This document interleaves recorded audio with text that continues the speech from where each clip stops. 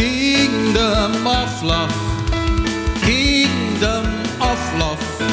We stand together in Christ unity.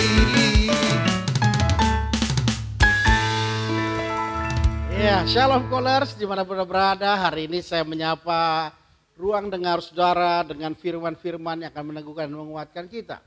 Hari ini secara khusus, call malam adalah kita online lagi, adalah bentuk sebuah sapaan gembala dengan firman untuk memastikan setiap jemaat terhubung dengan firman setiap hari yang membangun imunitas di dalam kekuatan menghadapi segala perkara. Hari ini kita akan bahas tiga perkara yang menghancurkan orang percaya di hari-hari terakhir di zaman akhir ini. Sebab saya percaya ada begitu banyak dosa, model dosa, tetapi ada tiga andalan iblis yang menghancurkan orang percaya dalam skala jumlah yang besar. Dan hari ini saya berharap Anda tetap uh, tune in, stay in ya, tune in ya dalam uh, YouTube ini supaya saudara bisa mendengarkan firman dan menguatkan kita semua. Namun sebelumnya kita akan membahas tiga, tiga perkara besar yang menghancurkan orang percaya. Dari zaman ini kita akan mendengar sebuah pujian yang diangkat secara extraordinary oleh hamba Tuhan yang luar biasa. Pak Pendeta Dr. Juan Huta Barat. Tuhan memberkati.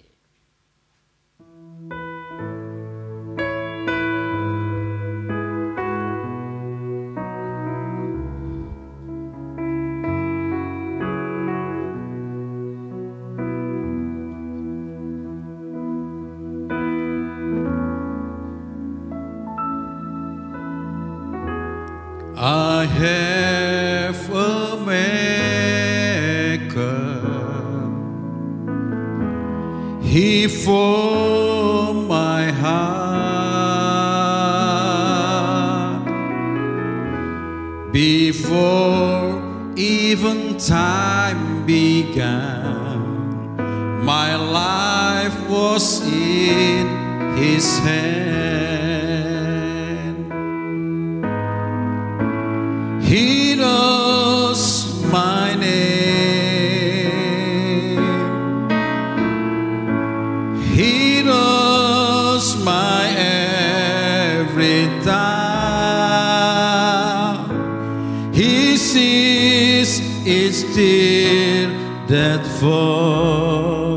And hears me when I call.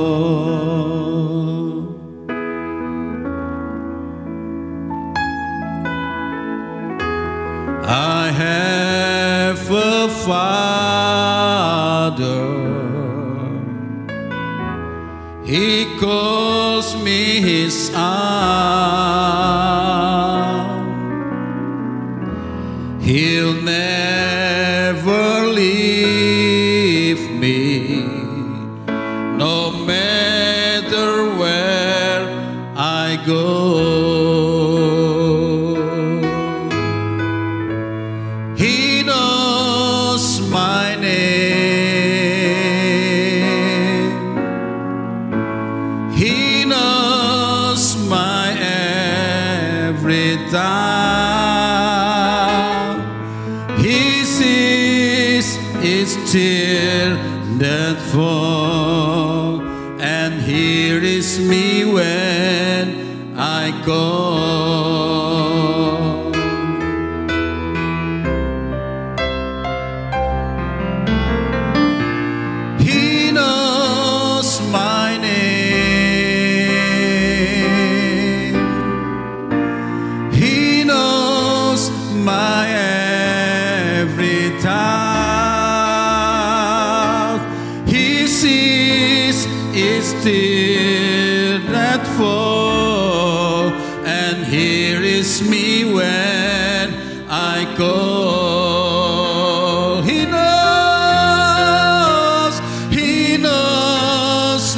name.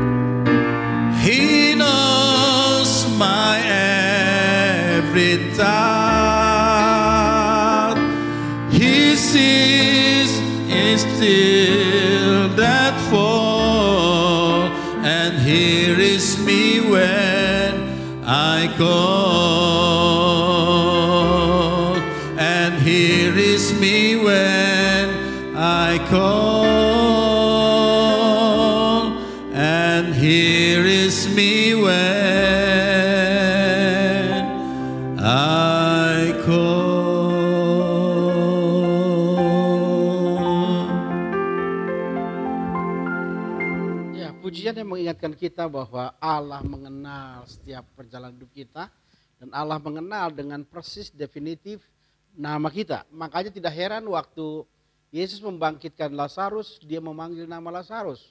Sebab mungkin kalau dia bilang, hai orang mati bangkit, maka seluruh pekuburan itu bangkit semua. Jadi artinya Allah adalah Allah yang luar biasa mengenal setiap pribadi kita.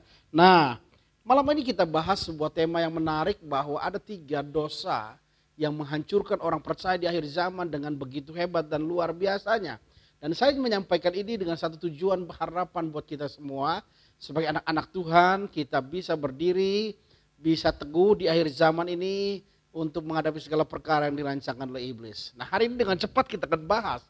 Ini adalah kompilasi beberapa khotbah saya yang saya padukan hari ini menjadi tiga kejatuhan besar, dosa besar orang percaya di akhir zaman ini. Yang pertama kita lihat Wahyu 12 ayat 3 dan 4.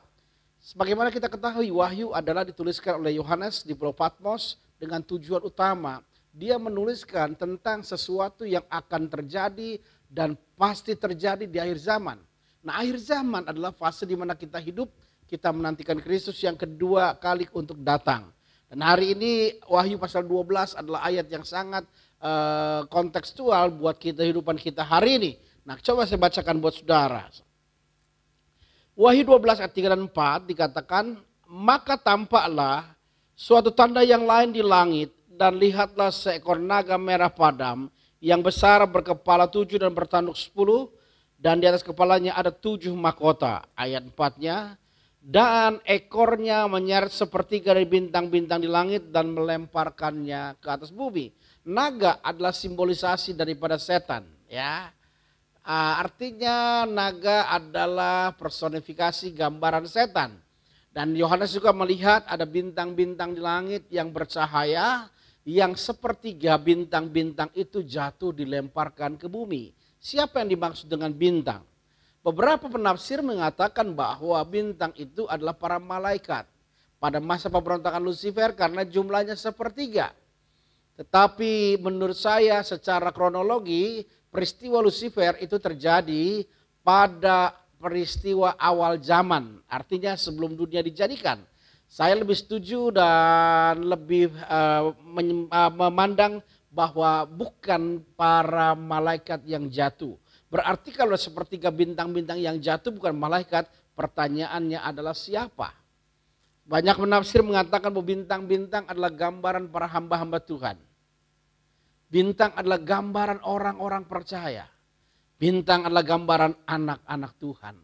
Dan sepertiganya artinya jumlah yang besar, jumlah yang masif, jumlah yang banyak akan jatuh di hari-hari terakhir di zaman akhir ini. Jatuhnya oleh karena apa? Alkitab berikan catatan dengan simpel namun penuh dengan makna bahwa jatuhnya para, bintang ini diseret oleh ekor naga. Bicara ekor, itu selalu binatang itu ekornya berdekatan dengan kelamin. Nah oleh sebab itu banyak penafsir yang mengatakan bahwa ini adalah sebuah gaya bahasa yang digunakan oleh penulis kitab Wahyu untuk menggambarkan sepertiga orang benar, sepertiga orang percaya, sepertiga hamba-hamba Allah akan jatuh karena dosa seksual. Alkitab memberikan early warning buat kita sepertiga artinya jumlah yang sangat masif, jumlah yang sangat besar, jumlah yang sangat banyak hamba-hamba Tuhan di akhir zaman ini jatuh karena dosa seksual. Nah kalau kita perhatikan dengan jujur, apa yang difirmankan ini menurut saya hari-hari ini tergenapkan. Kenapa saya katakan demikian?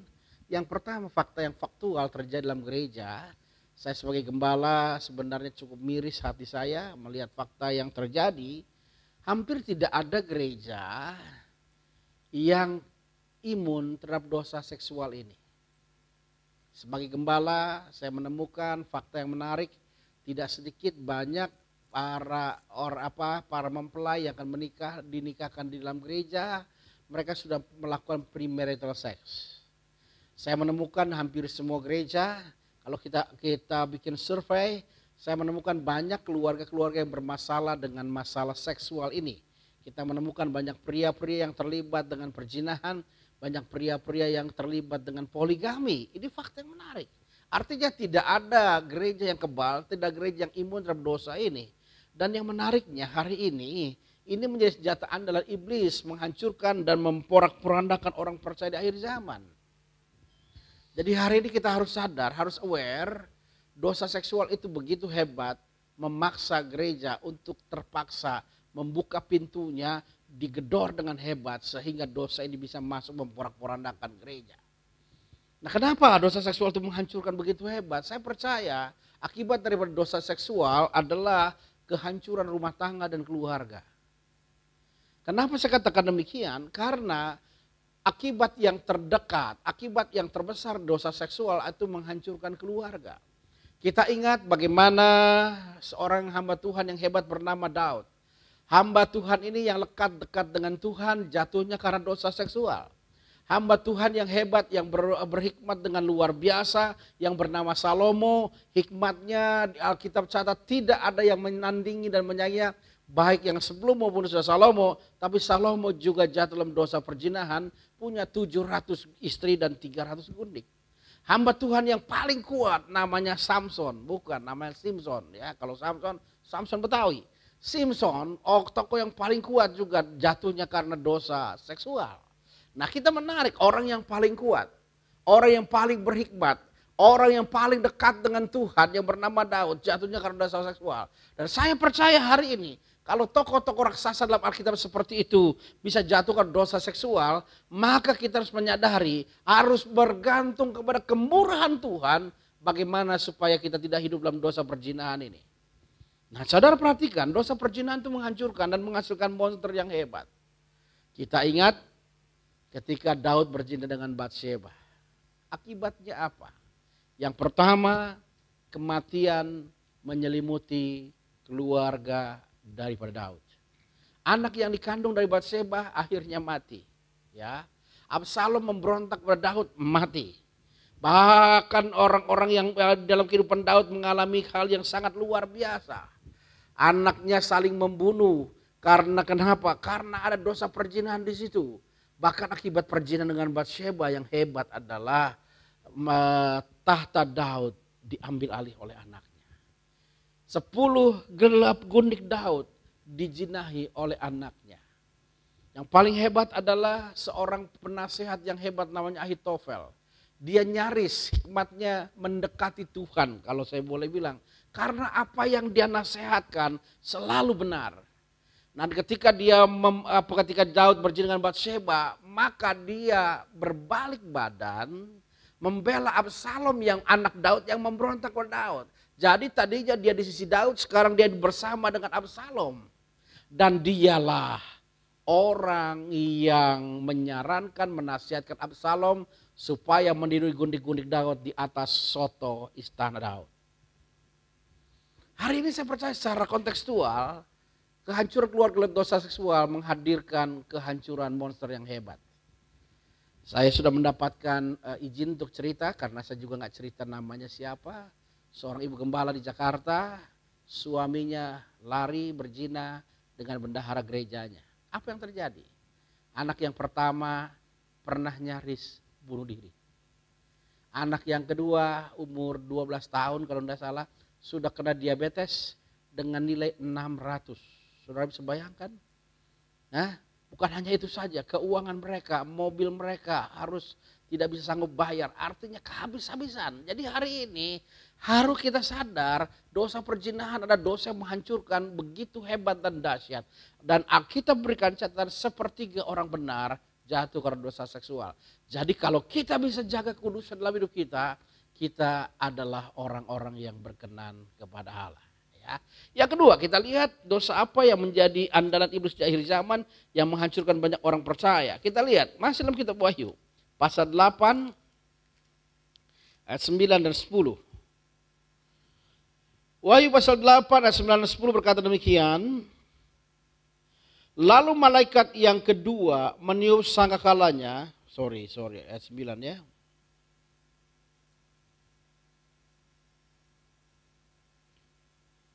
ayat 10 maaf, ayat 10 dan 11. Wahyu pasal 8 ayat 10 dan 11. Lalu malaikat yang ketiga meniup sangkakalanya dan jatuhlah dari langit sebuah bintang besar menyala-nyala seperti obor dan ia menimpa sepertiga dari sungai-sungai dan mata-mata air. Lihat, bintang yang jatuh menimpa sepertiga dari sungai-sungai dan mata air. Ayat sebelasnya, nama bintang itu ialah absintus artinya pahit. Dan sepertiga dari semua air, sepertiga dari semua air menjadi absintus, menjadi pahit. Dan banyak orang mati karena air itu sebab sudah menjadi pahit. Saya percaya akibat dosa seksual menelurkan kehancuran. Yang kedua, sadar atau tidak sadar melahirkan kepahitan. Dosa yang kedua yang bisa menghancurkan orang di akhir zaman ini secara masif, secara besar-besaran. Banyak orang Kristen, banyak orang percaya, banyak anak-anak Allah, banyak hamba-hamba Tuhan jatuh. Yang kedua faktornya adalah yang kedua dosa kepahitan. Dosa kepahitan. Nah ciri orang yang kepahitan yang pertama menurut saya adalah kata-katanya selalu tajam melukai orang lain. Hurting people, hurt, hurt people, hurting people. Orang yang terluka akan melukai orang lain. Ciri yang pertama orang yang terluka hari-hari di akhir zaman ini. Berapa banyak orang yang tidak bisa kontrol, yang tidak bisa menjaga tuturnya. Dia di FB, dia maki-maki orang, dia di FB dia mulai kritik orang dengan kata-kata yang menghina orang. Itu menunjukkan bahwa orang itu adalah orang yang penuh dengan luka. Yang kedua ciri orang terluka adalah, saya mau katakan demikian, orang yang terluka adalah gampang menjadi amarah. Karena orang yang terluka selalu mencari pembenaran. Oleh sebab itu maka hari ini kita mesti sadar dosa yang kedua yang bisa menghadirkan kehancuran yang hebat dalam kehidupan orang percaya. Yang mampu menghancurkan kehidupan orang-orang benar. Yang mampu menghancurkan kehidupan hamba-hamba Tuhan. Yang kedua adalah kepahitan. Ya, kepahitan. Bahkan kalau kita lihat peristiwa Yakob dengan dengan apa dengan Esau itu dibawa-bawa ratusan tahun kebencian itu. Ya, hari ini kita mendapat pemahaman pencerahan buat kita semua hari ini. Bahwa kepahitan itu sesuatu yang mematikan. Kepahitan sebuah sangat maut yang menghancurkan hidup orang percaya. Oleh karena itu maka anak-anak Tuhan hari ini harus sadar kita berjuang sungguh-sungguh hidup di dalam kasih Tuhan. Sebab kenapa? Karena hanya orang yang hidup dalam belas kasih Tuhan, yang menikmati anugerah Tuhan, yang menikmati kebaikan Tuhan, orang-orang itu adalah orang-orang yang tidak rentan terhadap kepahitan. Ya, sudah bisa bayangkan orang yang terluka dalam keluarganya, anak-anak yang diperlakukan beda sama orang tuanya. Maka jangan kaget, jangan kaget saya bilang begini. Banyak orang-orang tua pada akhir hidupnya pada masa tuanya tidak diurus, tidak di apa diopeni oleh anak-anaknya. Secara kasat mata kita bisa menyalahkan anak-anaknya kurang ajar, anak-anaknya tidak tahu diri. Tetapi sering kali anak-anak itu melakukan hal yang seperti itu adalah melakukan sebuah apa namanya tuayan buat orang tuanya atas apa yang dia lakukan terhadap orang keluarga apa terhadap mereka pada masa anak-anak mereka. Saudara bisa bayangkan anak-anak yang kepahitan kepada orang tuanya karena berzina, karena meninggalkan rumah tangganya. Dan ketika dia tua, dia kembali kepada keluarganya, apakah anak-anaknya akan mudah menerima orang tuanya ini? Tidak mudah Ferguson, tidak mudah. Kenapa? Karena saya percaya kepahitan itu menjadi menjadikan orang tertawa sekian lama. Jadi hari ini anak-anak Tuhan harus sadar bahwa kepahitan itu menjadi musuh kedua yang bisa menaklukkan dan menghancurkan banyak orang percaya kepada Allah sehingga kita kehilangan yang namanya kasih karunia Tuhan. Oleh sebab itu Alkitab berikan catatan kepada kita, jangan kita apa meninggalkan Tuhan, jangan kita tidak mengalami kasih karunia Tuhan supaya jangan timbul akar yang pahit dalam hidup kita. Nah, yang menarik begini. Kalau di gereja, ada prasyarat untuk seorang diaken, seorang pelayan Tuhan, bahkan seorang pendeta, biasanya ada persyaratan moral, tidak berzina, tidak segala macam, segala macam. Yang menarik adalah tidak ada parameter yang digunakan untuk menilai orang yang terluka kepahitan. Padahal saya mau katakan, kalau dalam sebuah gereja kita punya tim orang yang kepahitan percayalah dia akan menjadi troublemaker di dalam gereja. Kenapa? Karena hurt people, hurting people, dia orang yang terluka, dia punya defense mechanism bagaimana mempertahankan diri supaya nggak terluka lagi. Yang kadang kala itu sifatnya ofensif, menyerang orang lain. Dan kadang kala dengan cara apa? Melukai orang lain. Banyak anak-anak yang susah diatur, yang yang apos tower, keras kepala, itu juga sering kali karena kepahitan. Jadi oleh sebab itu maka saya percaya hari ini yang kedua, Dosa menghadirkan kehancuran yang total dalam kehidupan orang percaya di akhir zaman ini adalah dosa kepahitan. Yang ketiga, yang terakhir kita lihat di dalam Matius pasal 24. Matius pasal 24 kita lihat ayat 3, ayat 4 dan ayat 5.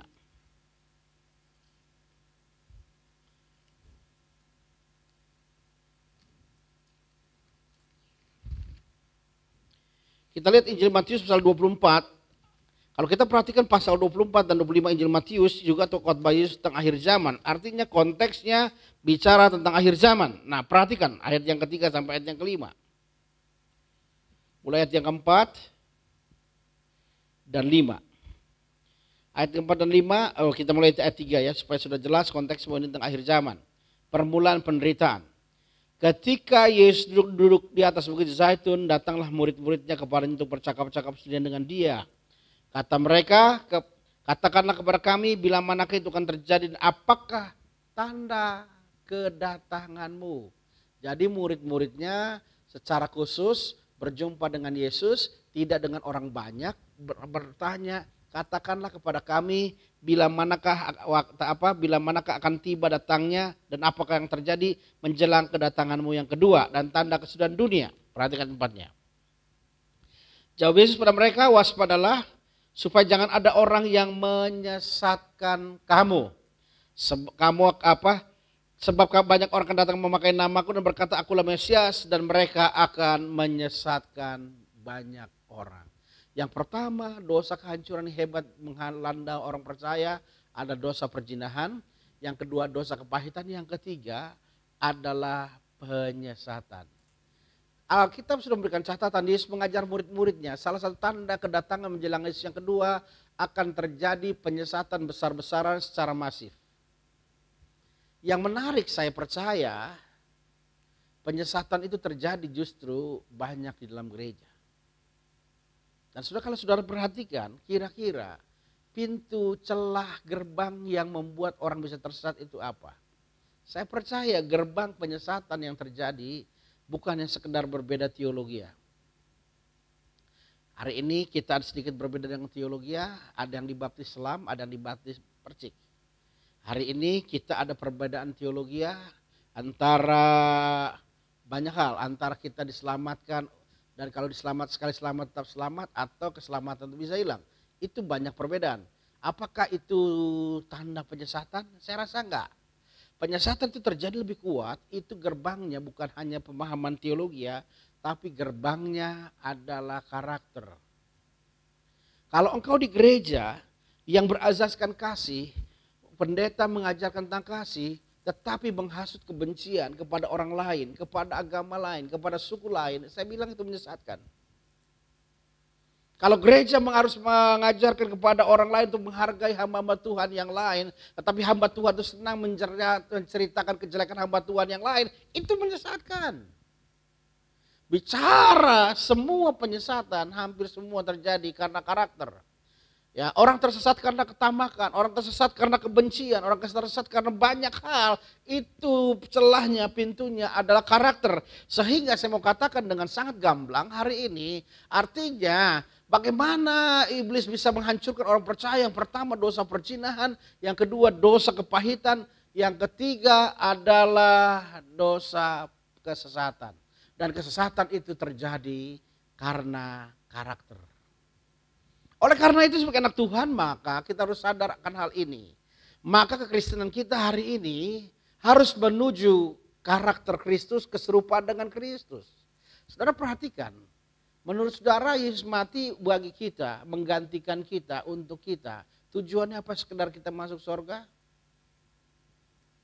Saya percaya kalau sekedar masuk surga, maka setiap orang yang bertobat harus dimatikan Tuhan. Kenapa? Karena masih punya potensi untuk jatuh dalam dosa. Dia bertobat, mati. Dia bertobat, mati. Yang bertobat, mati. Kenapa? Supaya tidak ada tidak ada kesempatan dia berbuat dosa lagi. Tapi faktanya, kita setelah bertobat masih hidup dengan kehidupan kita hari ini. Jadi saya percaya kematian Yesus bukan sekedar untuk kita masuk surga, tetapi kematian Kristus memulai sesuatu yang baru dalam hidup kita supaya hidup kita berpadan dengan Injil, hidup kita selaras dengan Injil, dan hidup kita serupa dengan Kristus. Ya, ketika kita bertobat, maka uh, roh, roh kita diperbaharui, jiwa kita diperbaharui, maka outputnya, sikap hidup kita, perilaku kita akan berubah. Oleh sebab itu maka saya hari ini, kalau karakter merusak, itu menunjukkan bahwa engkau belum mengalami pertobatan yang sejati. Oleh karena itu kasih-kasih Tuhan hari ini tiga perkara yang harus kita jaga dan perhatikan dengan sungguh-sungguh yang menghancurkan banyak orang percaya. Yang pertama dosa perjinahan, yang kedua dosa kepahitan, yang ketiga dosa kesatan karena faktor kehancuran karakter. Ya. Oke, mari kita berdoa. Bersyukur kepada Tuhan, pembelian Tuhan yang sempurna menyertai kami. Kami berdoa buat bangsa negara kami, kami berdoa buat negeri kami, kami berdoa buat orang-orang yang berharap pada Tuhan pada masa pandemi ini yang mengalami kesulitan yang hebat. Biar tangan Tuhan yang kuat memelihara, menjaga, merawat mereka semua dengan kasih setia daripada Tuhan. Kami juga berdoa buat call di mana pun call ini berada, biar tangan Tuhan yang kuat menyertai kami semua. Terima kasih Bapak, hanya dalam nama Tuhan Yesus Kristus kami bersyukur, kami berdoa, haleluya. Amin. Ya, sebentar saya menyampaikan beberapa pengumuman. Yang pertama, uh, besok pagi kita akan uh, morning glory bersama dengan Ibu Gembala dan Pandeta Sucipto ya. Kita akan menyembah Tuhan, memulai hari dengan kemuliaan Tuhan. Siangnya kita masih berjumpa dengan uh, penundaan ilahi ya, Seven Series ya. Dan minggu ini kita masih menantikan daripada pencabutan PSBB ya. Karena saya mendengar ada hal perubahan. Jadi gereja boleh beribadah bukan berdasarkan jumlah 30 orang, tetapi berdasarkan jarak. Jadi antar satu kursi dengan kursi yang lain harus berjarak satu meter. Jadi artinya ini adalah uh, pembatasan proporsional ya. Jadi kalau gereja ukuran 200 meter mungkin masih bisa 100 meter yang 100 orang bisa masuk ya. Jadi mungkin yang 9 kali ibadah akan kita mix sehingga kita menemukan formulasi yang memadai untuk kita beribadah. Nanti saudara yang sudah daftar mendapatkan WA dari sekretariat mengenai perubahan-perubahan jadwal tersebut ya. Karena kenapa? Kita terus bergerak mentaati aturan pemerintah. Dan kita tetap semangat karena Tuhan ada tengah-tengah kita. Shalom. Kingdom of love, kingdom of love. We stand together in Christ unity.